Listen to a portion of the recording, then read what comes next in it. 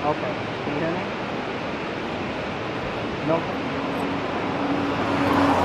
I don't know what it is. I think it's just, you know, I'm not doing anything that would cause it. Uh, I think it's just. Uh,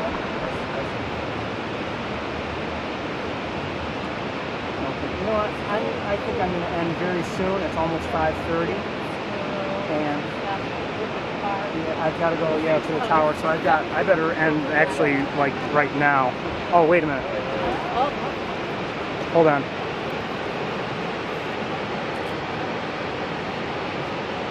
You can't see it, Claire, but uh, she's moving around a little bit, and we just got a glimpse of the chick. But it's dark there. She's it's in it's in her shadow. Sorry. I think I'm recording. I'm not sure. that my camera setup's so high I can't tell if it's recording or not.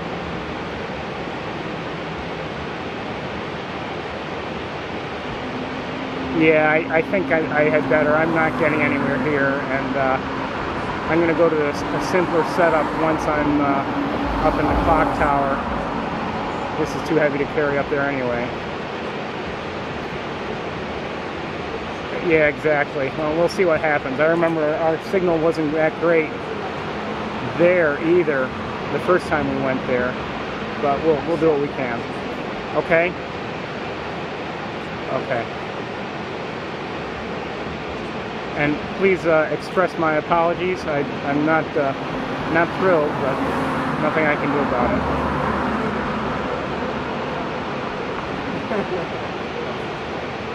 okay. Okay. Pardon me? Okay. Oh, I, I don't know what's going on. Okay.